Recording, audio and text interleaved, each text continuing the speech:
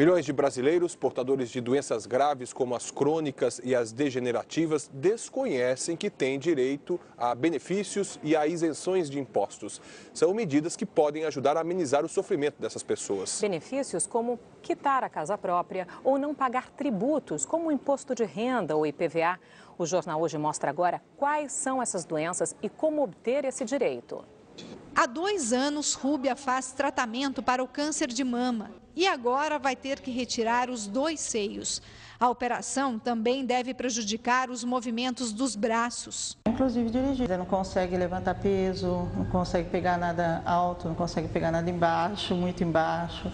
Então os movimentos ficam bem limitados. Depois da operação, Rúbia vai entrar com um pedido para ter isenção dos impostos para a compra de um carro adaptado. Segundo a legislação, pacientes portadores de doenças graves como AIDS, câncer, cegueira, esclerose múltipla, Parkinson, transtorno mental, contaminação por radiação, ranceníase, doença renal, do fígado, do coração, paralisia e tuberculose têm direito a algum benefício ou isenção de tributos para comprar um veículo, quitar a casa própria, desde que esteja financiada pela Caixa Econômica Federal, ter prioridade em atendimento judicial, conseguir o tratamento médico custeado pelo governo ou plano de saúde e viajar dentro do estado sem pagar passagem de ônibus, trem ou metrô. A pessoa ela vai poder se locomover e fazer o seu tratamento de saúde.